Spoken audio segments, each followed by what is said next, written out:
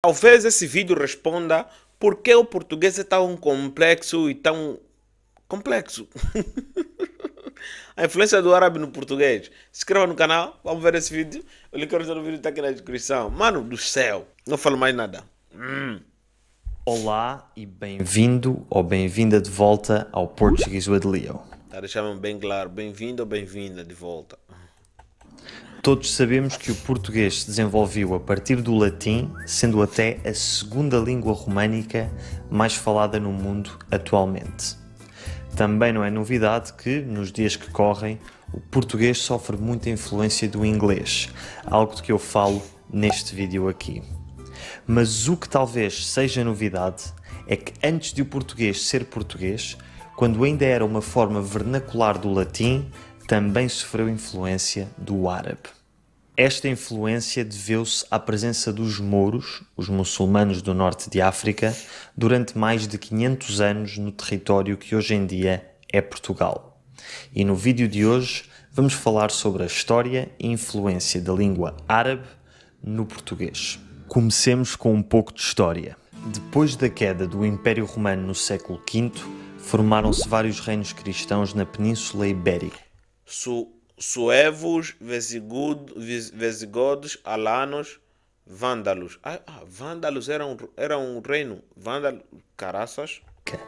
Ficava nessa banda da Espanha, é Espanha. Sendo o mais poderoso e mais conhecido de todos o dos visigodos. Mas quase três séculos mais tarde, no ano 711 d.C., o último rei dos visigodos, Dom Rodrigo, foi vencido na Batalha de Guadalete por Tariq ibn Ziyad, o líder moro que conquistou a Península Ibérica. Durante séculos desde então, o território da Península Ibérica pertenceu ao Califado de Córdoba, com exceção de um pequeno reino cristão nas Astúrias, naquilo que é hoje em dia o norte de Espanha. Pouco a pouco, esse reino cristão foi se expandindo e dividindo noutros reinos e territórios, e em 1143, um desses territórios, o Condado Portucalense, tornou-se independente, nascendo assim o Reino de Portugal.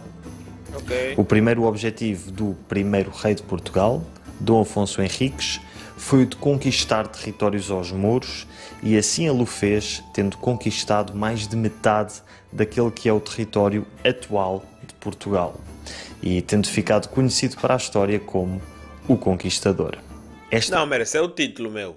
Os caras estavam aí todo murcho, é, é, fazendo o quê? Obedecendo às leis que lhe foram impostas.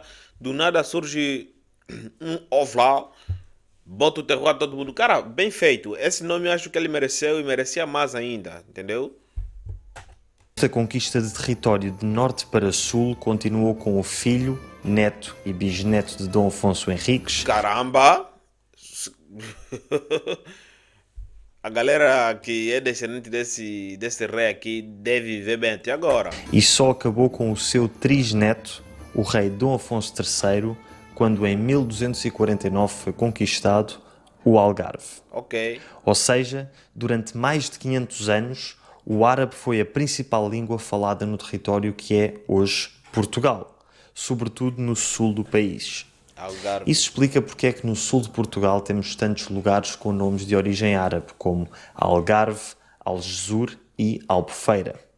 E para além de a presença dos mouros na Península Ibérica ter sido longa, outro fator que tornou o árabe uma língua influente foi o prestígio dessa língua.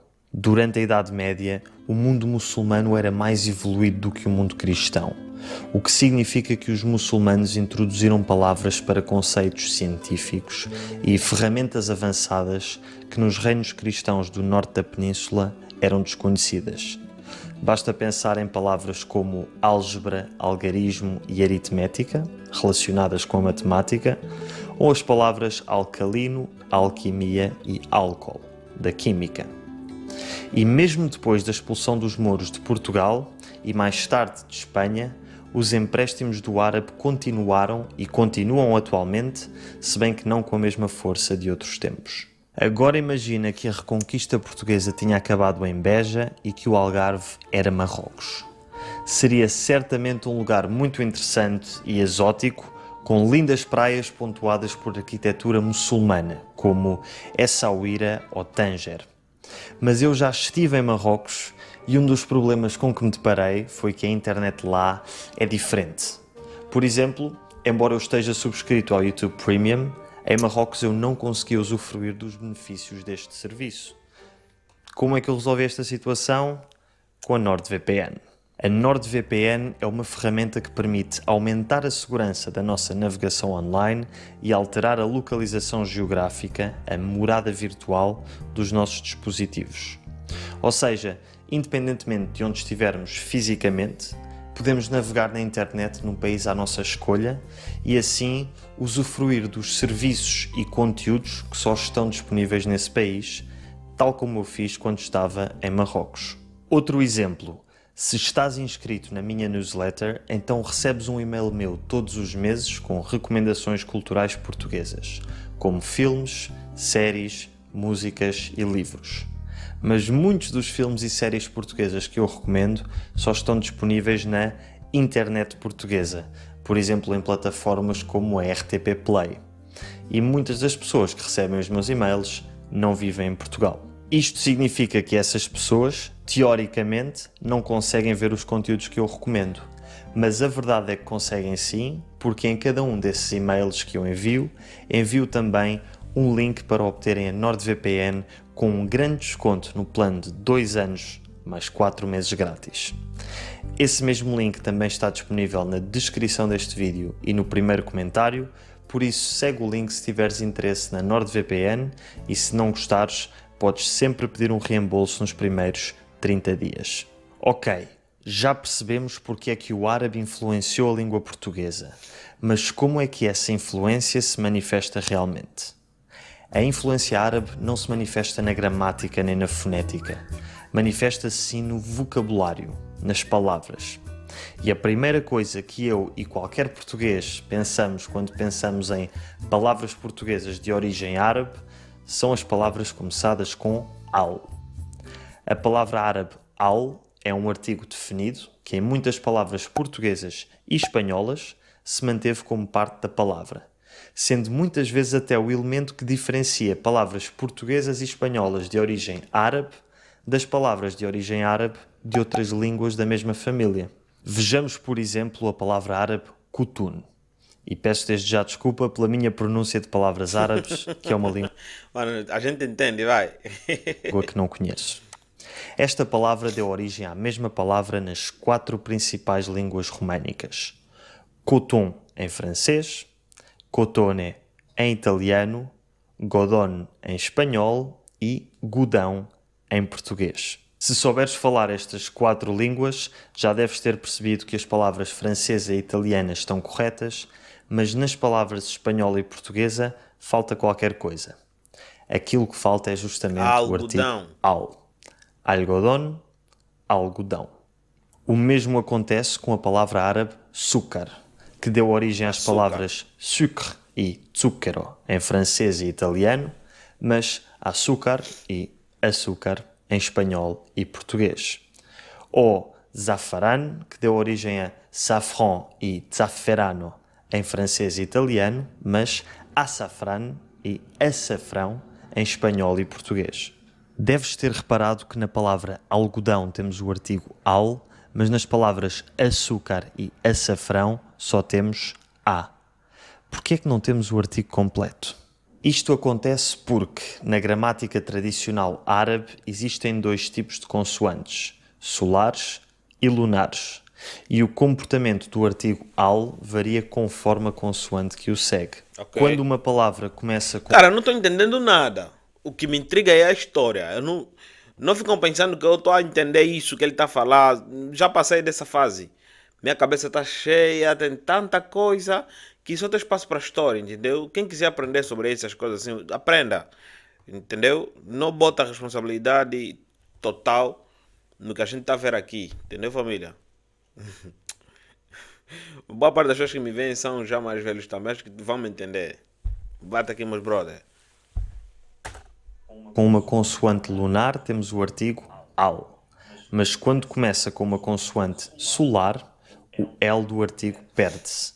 É por isso que temos algodão e almofada, que derivam de alcutun e almocada, mas temos açúcar e açafrão, que derivam de açúcar e azafrán.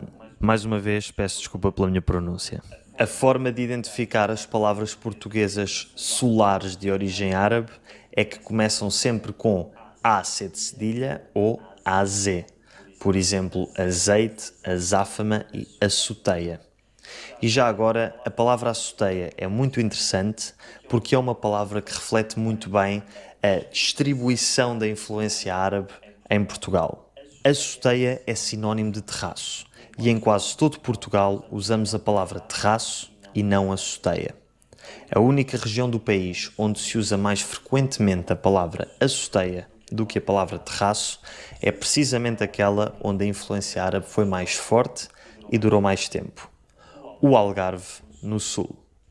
Aqui, não só eles usam a palavra açoteia em vez de terraço, como os próprios terraços, ou açoteias algarvias, são construídas num estilo arquitetónico muito característico que deriva diretamente do, estilo muçulmano. Hum. Para além do prefixo al, existem outras características que nos ajudam a identificar palavras de origem árabe. Temos, por exemplo, as palavras que acabam em im ou i. Estas derivam de palavras árabes que terminam em i, e temos como exemplo as palavras marfim e javali que derivam das palavras árabes, esta aqui, que significa osso de elefante, e esta outra, que significa porco das montanhas. Mais uma vez, se compararmos com as restantes línguas românicas principais. Está aqui, olha, está aqui Jabali, né? Jabali. As principais, vemos a influência árabe no espanhol, em que estas palavras se dizem marfil e rabali, mas não no francês e italiano, em que se dizem ivoire, avorio e sanglier, cinghiale. Tudo palavras de origem latina.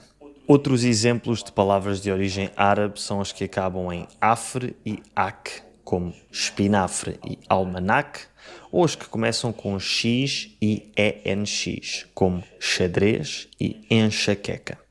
Ok, já sabes identificar a maior parte das palavras de origem árabe só de olhar para elas. Mas outra coisa que ajuda a identificar estas palavras é o grupo lexical, ou seja, palavras que pertencem a uma determinada área de conhecimento. No caso das palavras de origem árabe, encontramos-las sobretudo nas áreas de conhecimento que os mouros avançaram com a sua presença. Por exemplo, as áreas da ciência e medicina, onde temos palavras como alcalino, álcool, algarismo, álgebra, alquimia, cifra, enxaqueca e xarope. Outro exemplo são as palavras relacionadas com administração e comércio, como por exemplo alfândega, almoxarife, alvará, armazém e tarifa. Os mouros também trouxeram muitos avanços a nível militar, mas esses avanços, que eram modernos no século XII, são hoje em dia obsoletos e, portanto, as palavras de origem árabe relacionadas com o campo militar referem-se a armas antigas, como por exemplo a daga, alfange, a zagaia e zarabatana. Por outro lado, uma coisa que nunca é obsoleta é a comida, e existem muitas palavras de origem árabe em tudo o que é comida e cozinha. Palavras como açafrão, açúcar, alcachofra, alface, alfarroba, arroz, azeite, café, cenoura, laranja e tâmara. E finalmente, no campo da arquitetura também herdamos algumas palavras. Já te falei sobre a açoteia, mas existe também o alcácer, o andaime e o chafariz, e um dos elementos mais característicos da arquitetura portuguesa, o azulejo. Embora o português seja uma língua claramente latina, o prolongado contacto com o árabe deixou a sua marca e é uma das características que aproxima muito as duas grandes línguas da Península Ibérica e que as diferencia das restantes línguas românicas maioritárias. Com esta me despeço. Olha, uma coisa que eu aprendi nesse vídeo é que a história, a influência que, o, que a cultura árabe e que o Império Árabe que teve naquela época foi apagada, completamente apagada, entendeu? É impossível hoje a galera de hoje em dia estudar ou saber alguma coisa sobre as influências que os árabes tiveram. É mais fácil a gente associar os árabes com coisas doutrináveis, entendeu? É muito mais fácil desse jeito. Ninguém nos ensina a história da, da cultura árabe, ninguém nos ensina a história dos árabes, dos muçulmanos, ninguém nos ensina. Basicamente, ninguém está ali para. Se você for cristão, tu nunca vai aprender as partes boas da evolução do mundo que tem participação dos árabes. Ah, ah, não vais. É isso que eu aprendi ali. Não só o português, não só as línguas provenientes da ti têm influência com, com o árabe. Eu acredito que muitas outras línguas, cultura, povos, nações, têm influências árabes. Muitos, muito antes do, dos europeus navegarem, os árabes já faziam isso. Entendeu? Muito antes dos árabes. Vamos falar sobre a África então. Antes dos, antes dos portugueses chegarem aqui, 200 anos atrás, os árabes já estavam aqui na África, já faziam comércio nessa parte de Moçambique, sabe? Aí Moçambique, tem mais que. Chegaram até na África do Sul, só não chegaram aqui em Angola, não chegaram aqui no Oceano Atlântico. Essa, aquela outra parte do, daquele oceano, todo, todo mundo lá tem influência árabe. Tanto é que se você for para Moçambique, por exemplo, você vai ver mais muçulmanos do que aqui em Angola você consegue encontrar. Boa parte das pessoas que tem aí em é, África do Sul até um bocadinho de Namíbia, boa parte dele tem ascendência árabe, entendeu? Não que sejam parentalmente árabes, mas a cultura, sabe, os costumes, tem, tem, tem DNA árabe. Tá que história? Quem vai nos ensinar isso? Ninguém. Ninguém nos ensina isso, entendeu? Sinistro. Inscreva no canal, ative as notificações que saio de parte lá, vídeo com pessoas interessadas. Diversas coisas nesse vídeo eu não entendi, mas a história entendi e entendi completamente. Podem ter certeza. Nos vemos na próxima. Tchau.